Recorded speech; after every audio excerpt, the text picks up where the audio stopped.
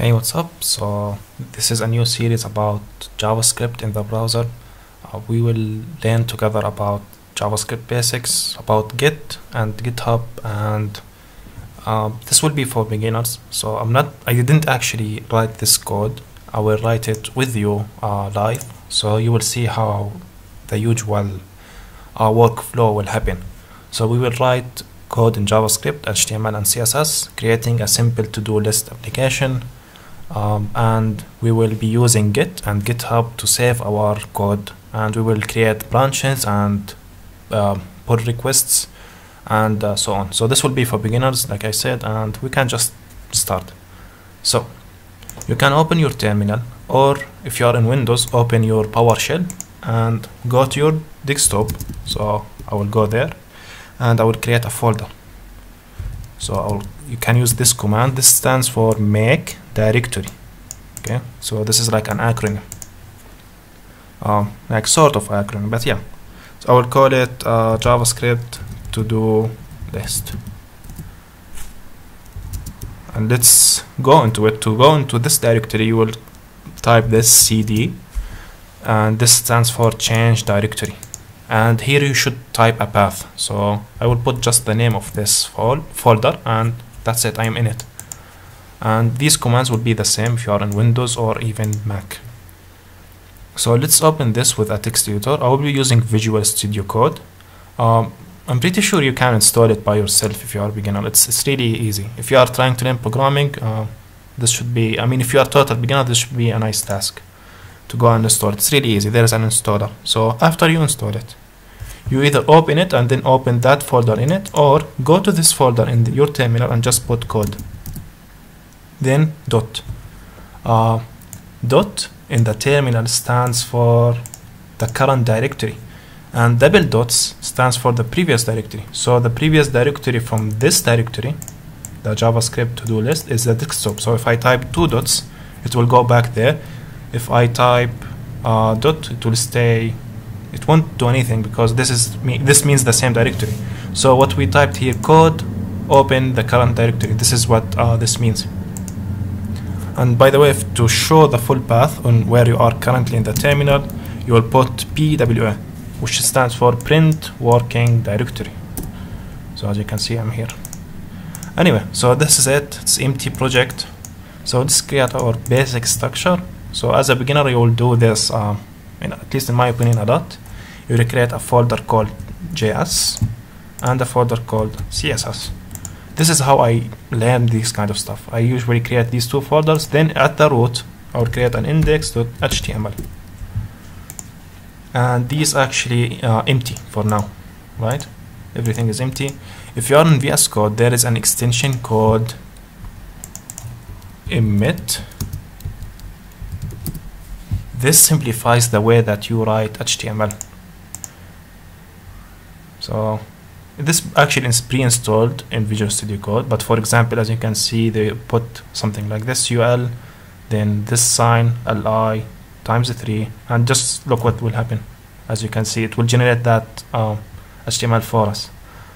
So uh, there is a shortcut you can learn if you put an explanation mark and choose the first option it will give you the basic HTML5 structure uh, you don't need to worry about this but these the meta tags or anything inside the head tags as you can see these are information for the browser uh, to understand your page a little bit more.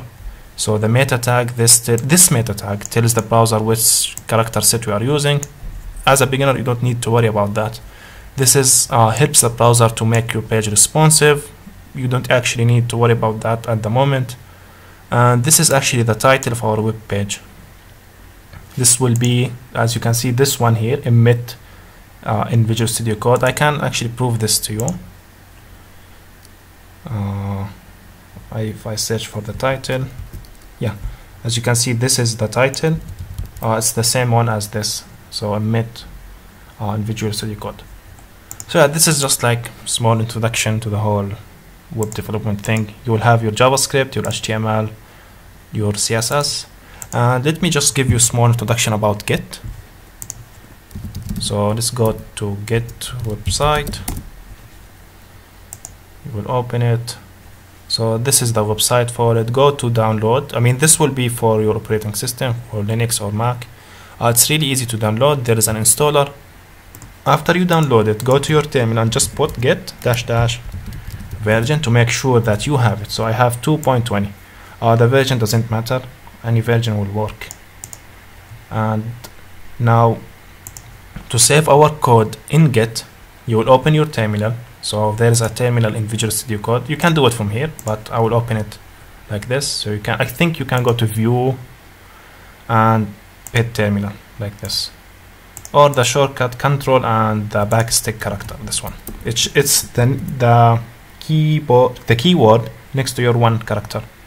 So you can open it so to save our code in git you will type in an in a new project git init so this will tell uh, tells us that we initialized empty git repository in this path. And something really interesting the way that git works that it will save information about your project inside a hidden folder called .git so if I put uh, list ls uh, I'm not sure what this stands for but this will tell us the current uh, things that exist in this directory.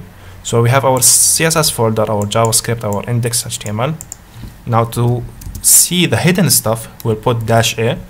So as you can see we have the dot .git hidden file folder sorry. So we can let's go to it right? And this put list. So as you can see git will store will like uh, store everything here about the whole project. Let's open it with visual studio code and take a look at it.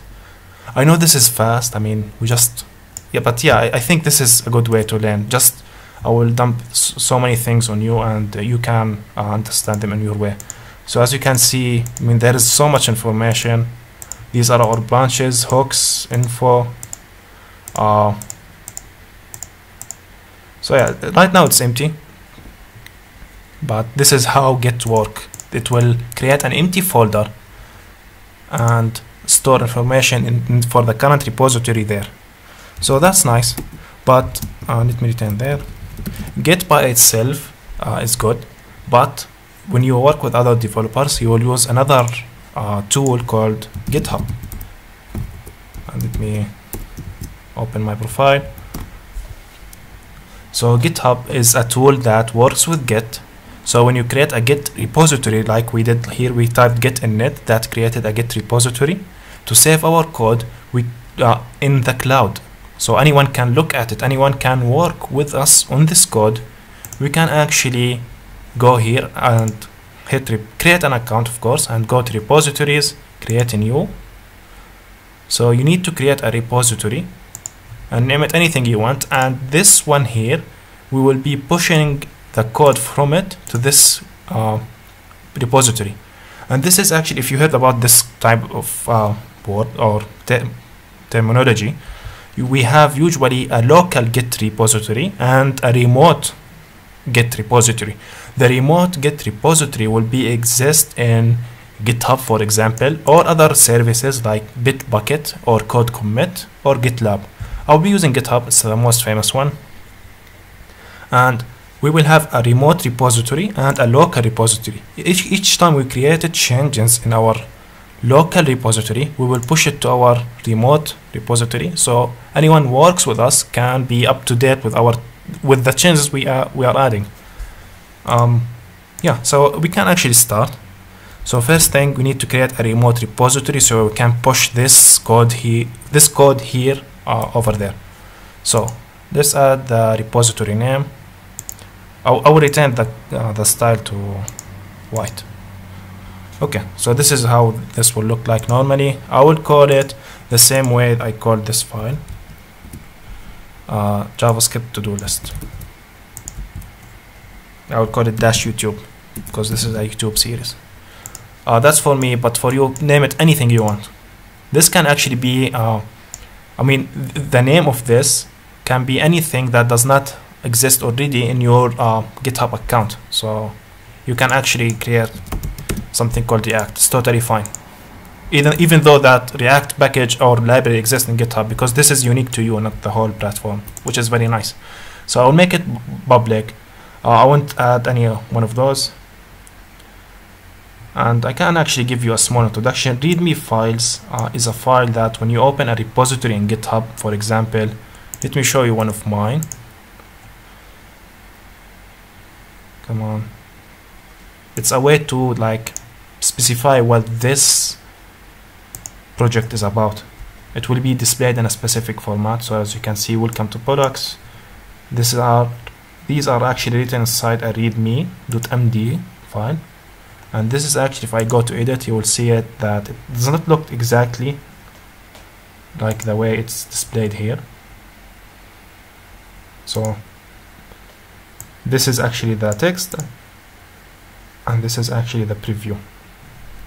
So we will come to this eventually but let's create our repository and you can create on create on this button. But before that the git ignore is stuff that we put or folders that we put to exclude it from git process. I mean it's not important now but we will come to it.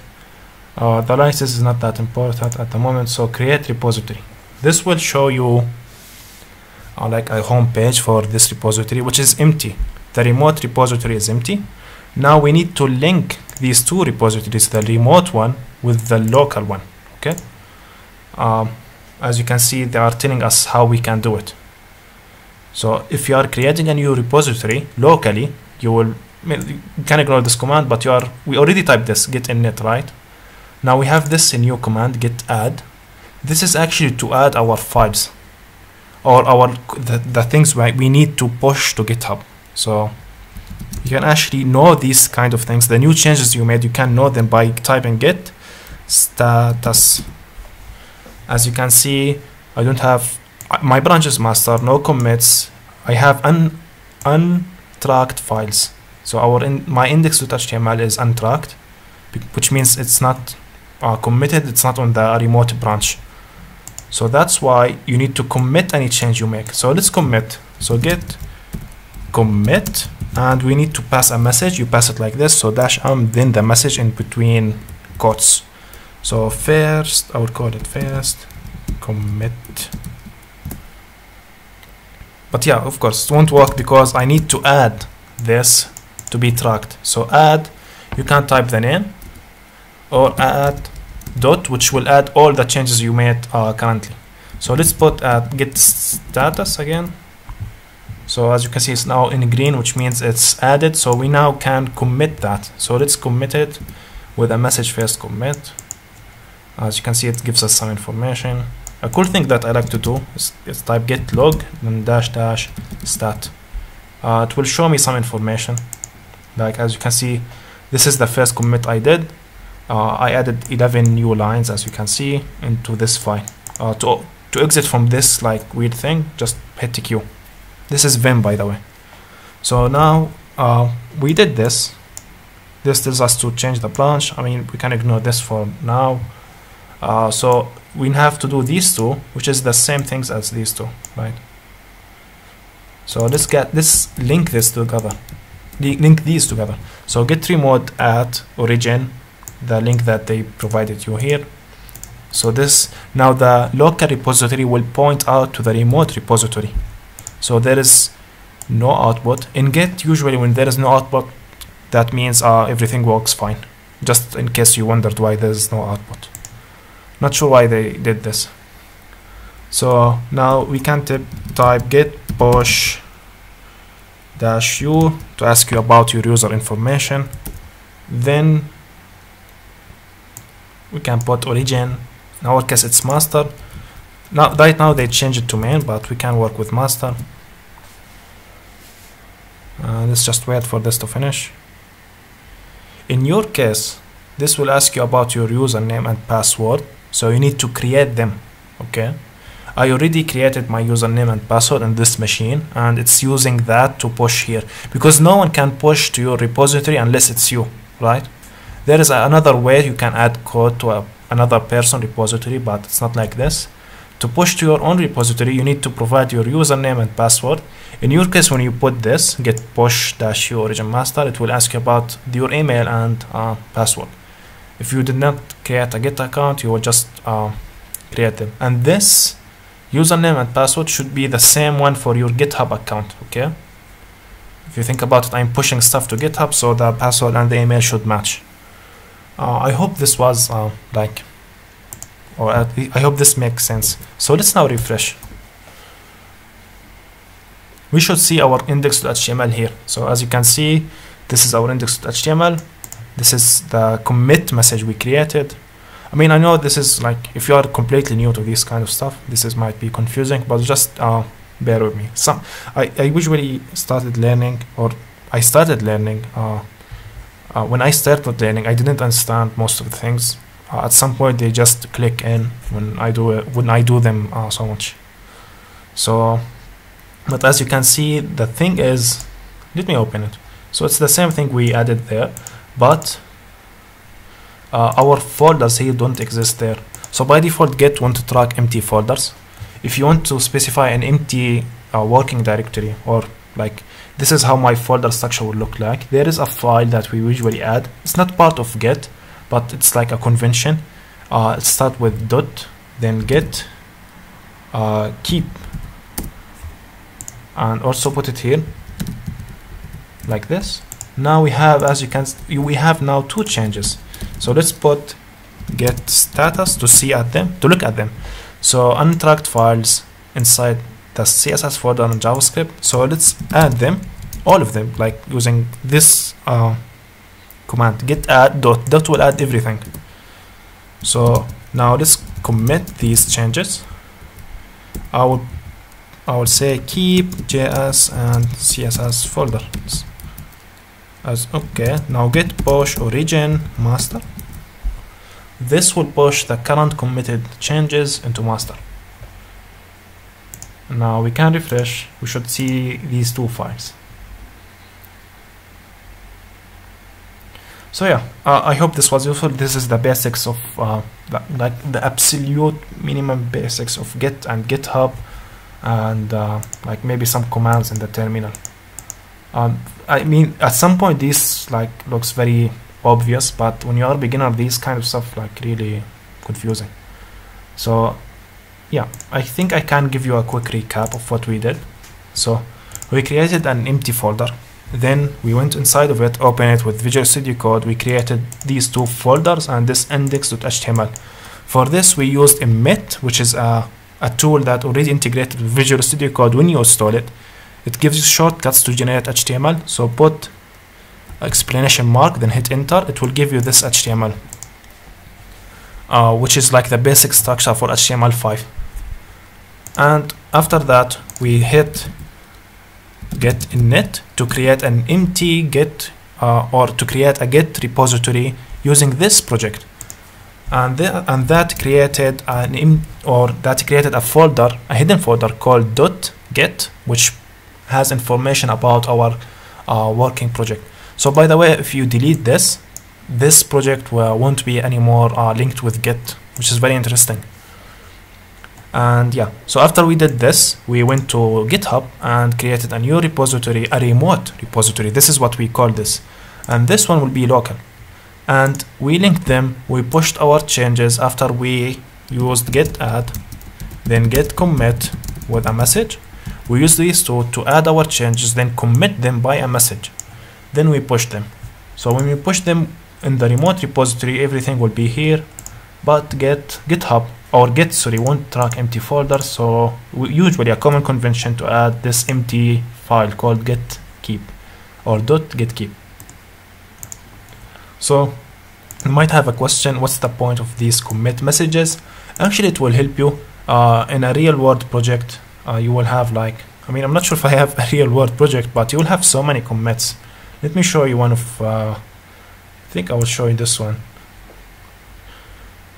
I have multiple branches. You don't need to worry about this one now but for example this one I have 77 commits.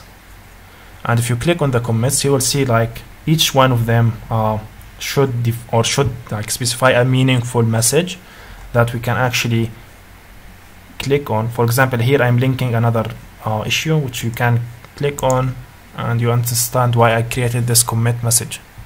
So yeah commits are really useful. You should always uh, like write a good commit messages. I mean my internet connection is slow but whatever. Um, yeah actually it's failed. And by the commits when we when we create so many commits each commit is like a version of our code. That's why uh, some people call git a version control system or a source control system. I think version control works uh, best in our context. As you can see this commit here which is on the second of of the first on august is like a version of this application. And we can actually if you click here browse the repository at this point in history. Each commit is like it's like a version it's like a node in this uh, tree of history for this project. So I can see how my application used to look like in that commit which is very nice. So as you can see you can you can see it like this but my internet connection is slow. And this is uh, the commit message. I this is the issue that I referenced in my commit message. We will come to this. And this is how my application used to look like at this point in this commit. And something interesting you see that we have this like weird string. This is called hash. Each commit has a unique hash. You can actually copy the hash and go and look at this current look at this uh, code look at this commit hash or look at this uh, version of our code at this commit.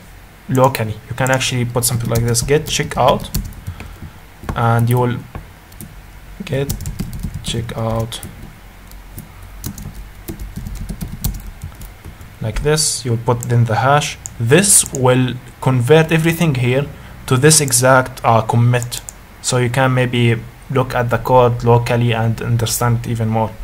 So yeah might be confusing but uh, in the next video we will start by creating some issues here. So we can actually reference this issue in our commit messages and improve our application step by step.